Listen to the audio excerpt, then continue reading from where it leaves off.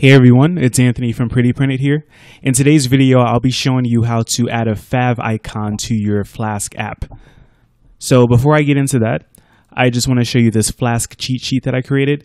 Um, it has a few things that can help you uh, save some time so you don't have to look up the documentation for pretty standard Flask stuff that you'll have to do in pretty much any app. So if you want to get this cheat sheet, just um, click the link down in the description below and you can get it. So a fav icon is this little icon that appears in your browser up here. Uh, you see the G for Google, and a bunch of websites have their own fav icon. I'll show you how to add that in Flask. So typically the way you would do it is you would just put the fav icon uh, somewhere on your server and your web server will serve that uh, that fav icon every time it's requested by a browser. But if you don't want to go that route and you want to have the fav icon in your Flask app because you have multiple fav icons or you just want to keep everything in a Flask app for simplicity purposes, then this video can help you out. So uh, let me start up the server. And right now I have just a basic Flask app that doesn't have uh, anything in it. It returns this index.html, but uh, the index file is empty. So I'll start that up first before I actually uh, add the fav icon. So it's running and I'll refresh this and I get a blank page and we'll see here uh, do the request again and normally it will return a 404 for the fav icon but since uh, I was writing the Flask app earlier it's using the fav icon from the debugger if you can see that there so I'm going to change this to my own fav icon that I have. Uh, let's see what it looks like. And I have it in the static directory. It can be anywhere, but this is what my fav icon looks like. It's a 16 by 16 image.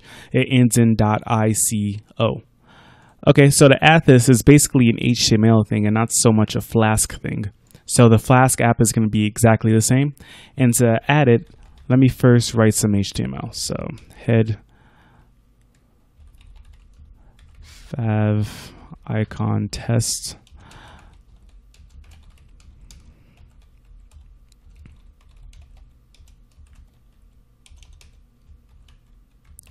So I'll save that and the server should still be running. So I'll refresh and I see the fav icon text there.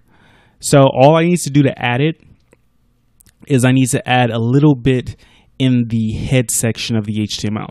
So it's going to be a link to the icon. So uh, rel is going to be shortcut icon. And then the part that's somewhat Flask specific is the URL. So since this is in my static directory, I need to use the URL function to actually return the file because I can't access it directly. So what I'm going to do is uh, it's typical Jinja syntax. So I need the curly brackets first, and I'll do URL for. And then I first specify the directory, which is static. You can name this anything you want, but by convention, it's static.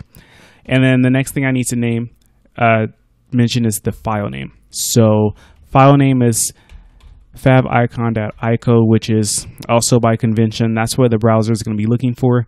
But um, since I'm specifying explicitly, I could actually have this be anything that I want. So I'll just save this and then I will refresh the page and we see the fav icon has changed to something else. So this is pretty easy to do. If you wanted to uh, have this in all of your template files, you'd probably have like a parent template with um, titles, with uh, loading of static resources like JavaScript files and CSS files, and maybe have the uh, basic HTML structure laid out for you already in this parent template. And then all your child templates will inherit from this uh, parent template, and then you can write whatever custom code that is needed for whatever particular page you're working on. So very simple stuff, but it's not as simple as just putting a file somewhere unless you have a certain type of web server. But if you're working only with Flask, then this works pretty well. So that's it for this video. Uh, if you have any questions about adding a fav icon, just leave a, a comment down below. If you like this video, please give me a thumbs up. And if you haven't subscribed to my channel already, please subscribe. So thank you for watching this video, and I will talk to you next time.